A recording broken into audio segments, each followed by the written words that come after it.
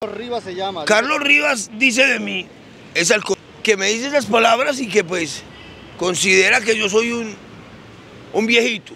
Ahora escúcheme. Es, una de la, es la primera parte de, de un poder que vamos a mostrar enseguida. A mí me da pena, porque cuando a mí me ofenden de la manera como, como me han dicho, no lo hacen conmigo, hermano, lo hacen con él. Porque él, él es el dueño de la tecnología en la que yo, con la que yo trabajo. Y ustedes sin ninguna consideración lanzan acusaciones. Y la dicen no murmuréis los unos de los otros y no juzguéis los unos de los otros. Que, que yo era un viejito que no sabía nada. Pero no soy un viejito, soy un anciano. Soy un anciano. Y a esta edad, ya el Altísimo debe, debe haberme dado la humildad para estar con el hermano. Y el día que él De la página Montalvo Vallenato, aquí tenemos nuevamente al teólogo de la ciudad de Medellín. Bienvenido, Jorge. ¿De qué vamos a enseñar hoy? Eh, le cuento que la gente lo aprecia mucho.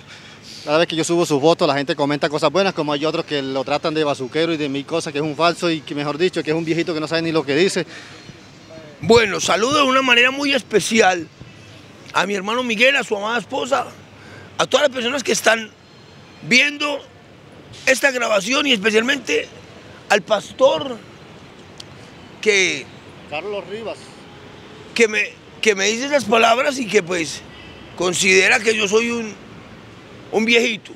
Ahora escúcheme. La Biblia dice que por, la- pues, por tus palabras serás justificado y por tus palabras condenado. Dice la Biblia. El buen hombre, el buen tesoro del corazón saca buenas cosas. Lo que el pastor Carlos Rivas se llama. Carlos Rivas dice de mí, es al contrario, bendecirme, porque en los ancianos está la ciencia y en la larga edad la inteligencia. Entonces, soy un viejito que ya a mi edad, el Altísimo debe cumplir su palabra habiéndome dado la sabiduría, como para venir hoy acá y reunirnos y hablar de este tema. Vamos a hablar de lo más poderoso de la humanidad. Lo más poderoso de la humanidad es la autoacción. Es decir, usted libre de actuar basado en dos principios suyos. Uno, si usted quiere hacerlo. Si usted quiere hacerlo, se va o se queda. Si usted quiere hacerlo, come o no come. Desayuna o no desayuna. Se come la carne gorda o- o pulpa. Si usted quiere tener una relación, la, tiene, la tienes. Es si usted quiere. Esa es, una de la, es la primera parte de, de un poder que vamos a mostrar enseguida. ¿Qué tengo yo como fuerza? Primero, yo debo saber que en mi vida y a mi alrededor solo pasa lo que yo quiera que pase. Usted tiene esa oportunidad en la vida.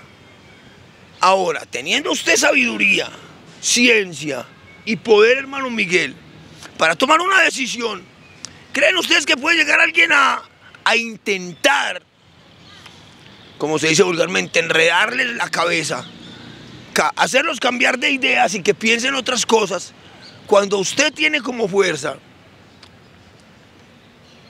la actuación? Ahora quiero hacer una pregunta a mi gran amigo. Hermano Miguel, ¿usted cree que sí es posible que usted tome una decisión basada en usted o, la- o- estaría obligado a hacer lo que otro le mande a hacer, aunque usted no lo crea? Perdón. Conveniente y sabiendo usted qué va a hacer para su... Perdón. Va a ser para su beneficio y usted se dio la libertad, hermano, yo le quiero hacer una pregunta. ¿Alguna vez en la vida usted ha hecho lo que usted quiere sencillamente porque usted lo quiere? ¿O usted vive gente encima, al contrario, queriendo lo que usted haga, lo que no quiere, que sabe que haciendo lo que usted quiere le va a traer bendiciones y se hizo sencillamente lo que usted quiso? Entonces respóndame esta pregunta. Si tiene la oportunidad ellos que nos ven de tomar una decisión basada en lo que ellos son o sencillo, obligados están a que hagan lo que otro quiere. Ahora, yo estoy detrás de la cámara hacia acá. Ustedes están allá, pero vamos a hacer una cosa. Nosotros podemos hacer sencillamente lo que nosotros creemos conveniente que va a hacer, porque nuestra acción se basa en que yo dije, sí, ahí hay bendición. Ahora, respóndanos esta otra. Una persona antes de hacer algo que usted considera que es bien bonito, bien, piensa hermano Miguel. Antes de hacerlo, sí o no, y una vez se lanza y lo hace, porque sencillamente otro le dijo, respóndame esta pregunta. Miren, en elementos de administración, es decir, una de las ciencias que, se, que enseña lo que nosotros hacemos, nosotros somos maestros de educación cristiana. Nosotros enseñamos teología pedagógica, es decir, un conocimiento al mundo entero acerca de la tecnología de la teología como área que busca la educación de alguien en aprender a desarrollar un poquito más la fe. Pero hermano Miguel, nosotros, o usted como mi jefe, considera que para realizar esto se basa usted en lo que usted diga sí o no. Y vea, a mí me da pena, porque cuando a mí me ofenden de la manera como, como me han dicho, no lo hacen conmigo, hermano, lo hacen con él. Porque él, él es el dueño de la tecnología la que con la que yo trabajo. Y ustedes sin ninguna consideración lanzan acusaciones. Y la dicen, no murmuréis los unos de los otros y no juzguéis los unos de los otros. Lánzanlo sobre un joven que está en la, en la pantalla de su teléfono y usted está viendo mi video. Para decir que lo que él quiso, lo quiso. Pero luego llega esa información a nosotros. El primero que la ve es él. Y él podría decirme, teólogo, la verdad hermano, ya estoy hastiado de que me falten al respeto por culpa prácticamente suya. Pero hasta hoy en el nombre de Jesucristo, que Él lo testifique, ¿ha habido algún tipo de problema en ese sentido?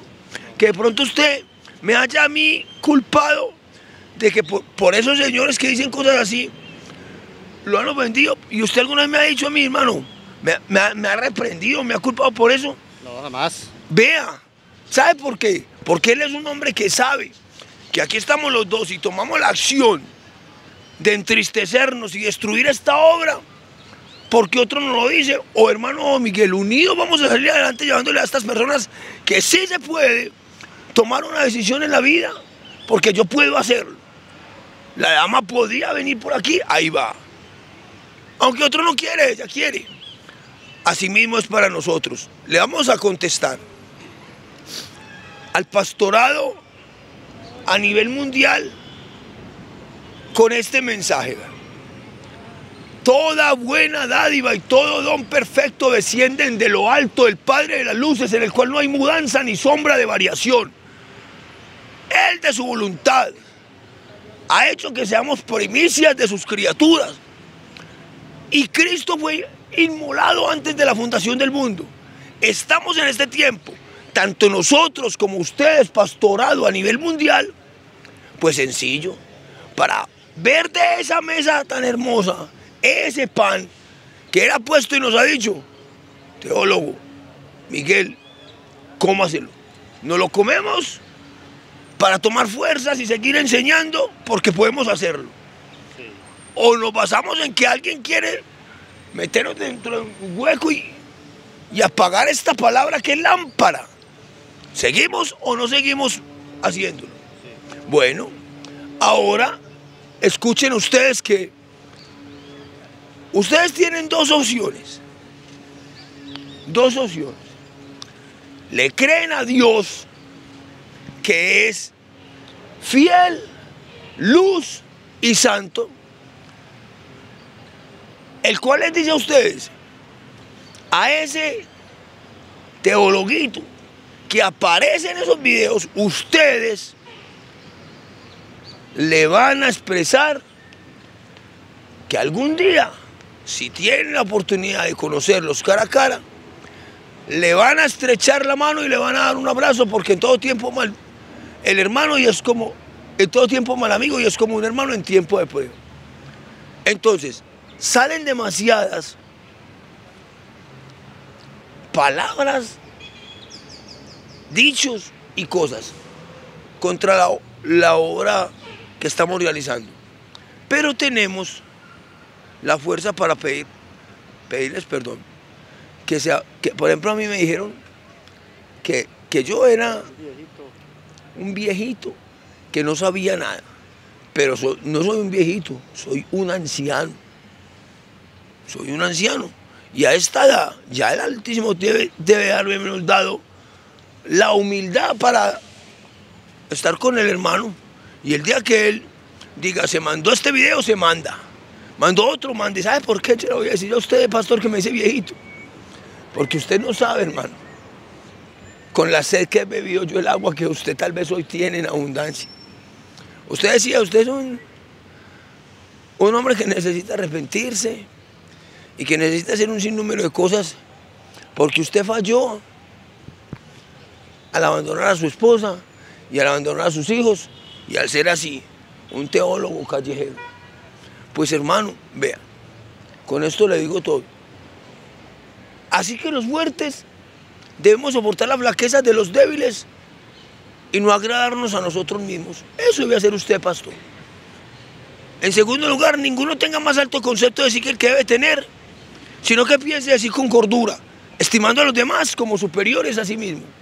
Porque todo tiempo ama al amigo y es como un hermano en tiempo de prueba, y en esto conocerán que son mis discípulos si tuvieres amor los unos por los otros. Ahora, pastor, Carlos, Carlos se llama. Carlos y los otros que que tienen su opinión, es respetable, hombre, cómo no.